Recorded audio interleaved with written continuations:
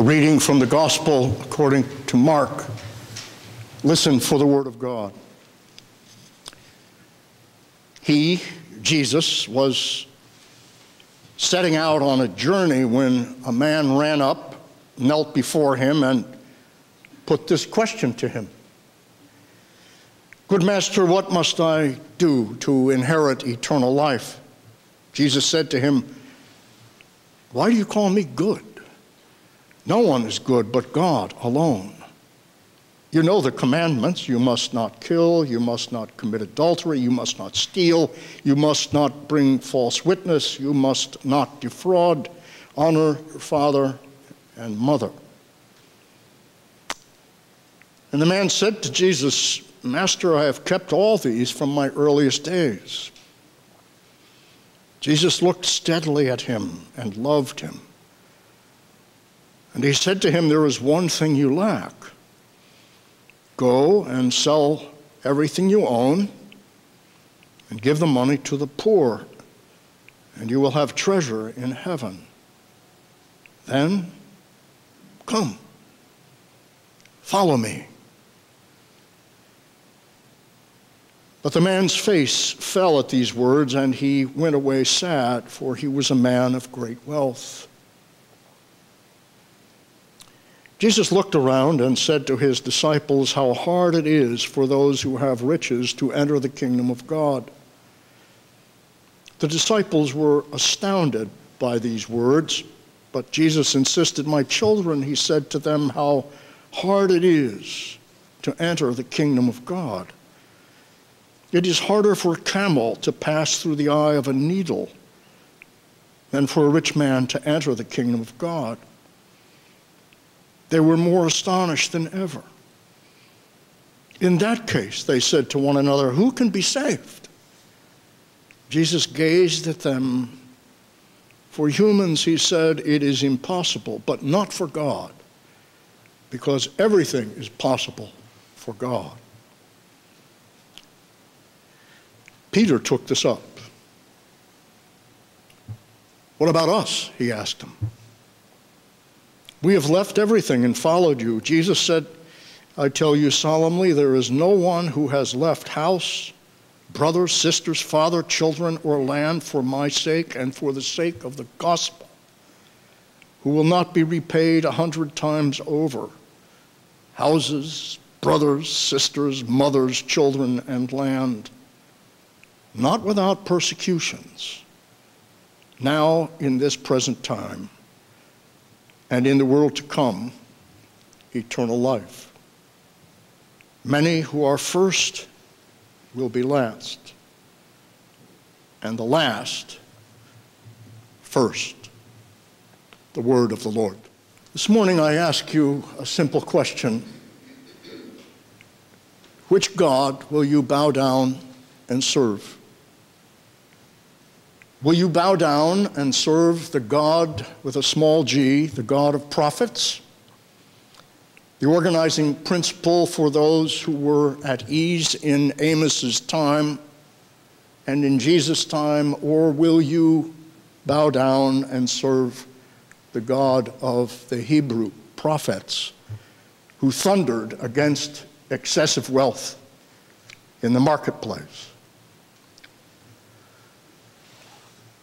Someone might say, perhaps, that's too simple. Amos didn't think so. Isaiah didn't think so. Micah didn't think so. Jeremiah didn't think so. Ezekiel didn't think so. Daniel didn't think so. And Jesus didn't think so. Mohandas Gandhi didn't think so. Listen, to what Gandhi has to say about the seven deadly sins. These are the seven deadly sins according to Gandhi. The first sin at the top of the list of Gandhi's list is wealth without work. And the last one is worship without sacrifice. Wealth without work, worship without sacrifice. And so this morning, on the 41st anniversary of uh, the founding of this lovely, lovely church, church is not the building, the church is you, the people. And here on Stewardship Sunday, and less than a month, just a few weeks before we walk into the voting booths to cast our votes, I put before you from this pulpit the question which God will you serve? Will you commit yourself if you have never done so before? Or will you recommit yourself to the God of the biblical prophets, those who spoke for God?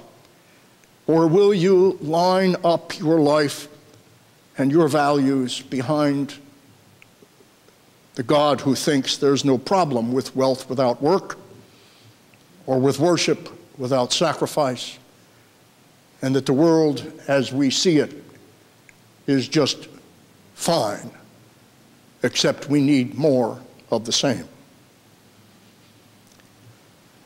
I have never been more troubled in my life than I am today. I'm not troubled because uh,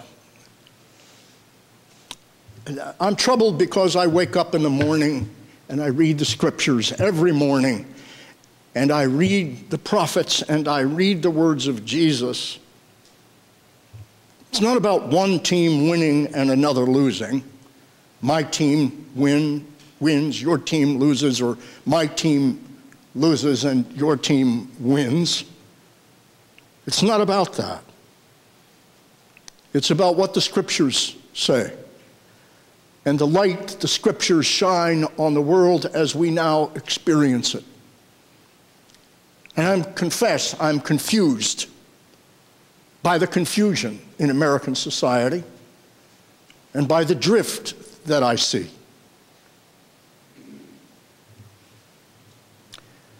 There were two sets of scripture that informed Jesus' life. The Torah, also called the Law, the first five books of the Hebrew Bible, and the Hebrew prophets.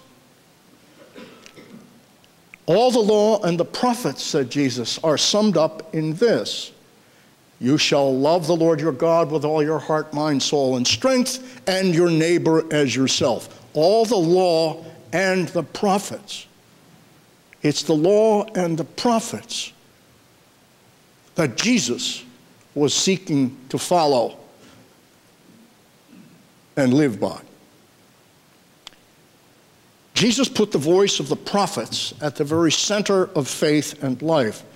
And often, Jesus, whom we sometimes mistakenly think of as meek and mild, Sounds a whole lot like Amos. We celebrate the Beatitudes of Jesus' Sermon on the Mount. In Luke, it's the Sermon on the Plain, down where you and I live, not up on the mountain. And we read in Luke's Gospel, he lifted up his eyes on his disciples and said, Blessed are you poor. Blessed are you poor for yours is the kingdom of God. Blessed are you who hunger now, for you shall be satisfied. Blessed are you that weep now, for you shall laugh. And our hearts rejoice when we hear these words. Because we are poor, and because we are hungry, and because, because we weep sometimes. Some of us, like Jesus' first disciples, live in poverty or have lived in poverty. Some of us have experienced hunger. I know you have because I spoke with one of you this week who lived for three weeks on $3. Some of us are weeping now, wondering when, if ever, we will laugh again. And Jesus consoles us. Jesus says this will not last. And these words of consolation are lifted, lifted up by the churches as well they should be. But you can't stop reading there if you want to follow Jesus.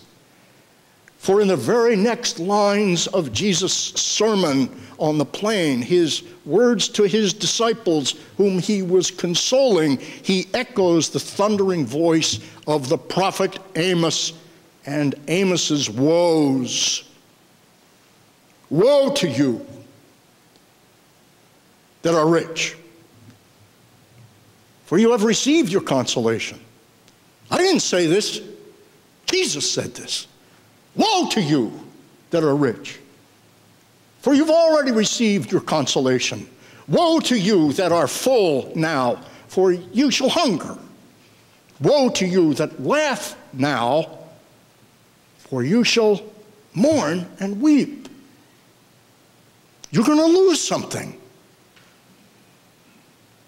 Jesus, the real Jesus, not the one that we make up, but the real Jesus, calls it like it is. He is describing, brothers and sisters, in this text this morning and over and over and over again, as do the biblical prophets, he is describing the revolution of economics, of political power, and the redistribution of wealth that is, in fact, the kingdom or the society of God. The kingdom of God is an economy, God's economy.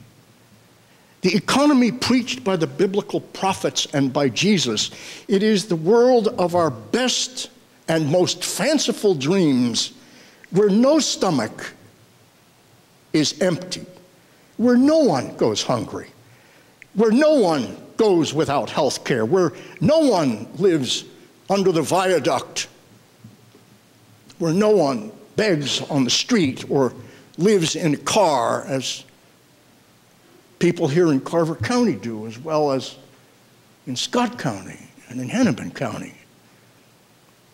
No longer will those who have laugh at or pass by those who live under the bridge. The message of Jesus does console, it comforts. It's a great consolation, but it also afflicts the comfortable. He makes trouble, he makes waves. And because he made trouble and made waves and challenged the economy of his time, he hung upon a cross, executed as a political criminal who was seditious to the economy of the Roman Empire. Jesus cuts through the lies that keep the privileged privileged. He calls us to take responsibility for here and now, to implement in the most practical of ways the summary of the law and the prophets. And the overriding question for Christians, for you and for me, is how? How will we and can we love our neighbors as ourselves? How will we live now celebrating the economy of God, which is represented by this table when we gather here, where everyone is fed and no one is left out or boxed out. How will we live in this economy of God as the protest of hope and love within an economy of greed and disparity? How to live now as those who worship the God of the prophets, those who know that worship means sacrifice. a businessman who was notorious uh, for his ruthless pursuit of this is not a condemnation of business or of all business people. It's not. I know tons of folks in business who live honestly and who advocate for the kingdom as I've described it. And so do you. But this particular businessman, who was known for his ruthless pursuit of profits, once announced to Mark Twain that before he died, he meant to take a pilgrimage to the Holy Land. I will, I will climb Mount Sinai, he said. I will climb Mount Sinai and I will read the Ten Commandments aloud from the top of Mount Sinai.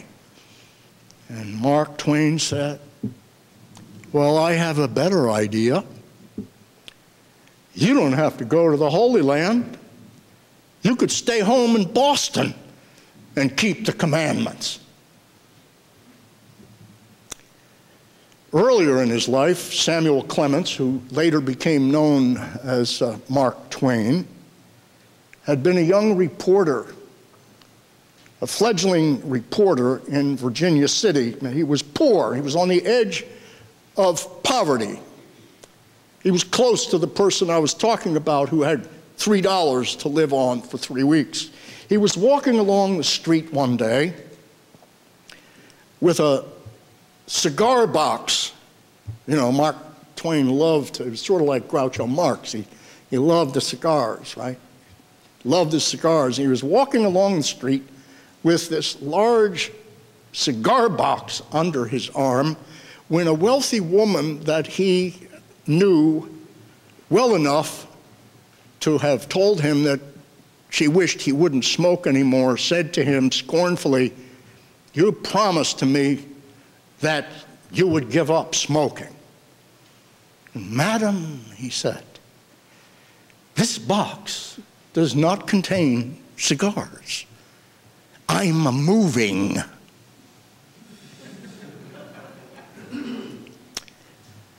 Today we are asked to make a decision about financial stewardship.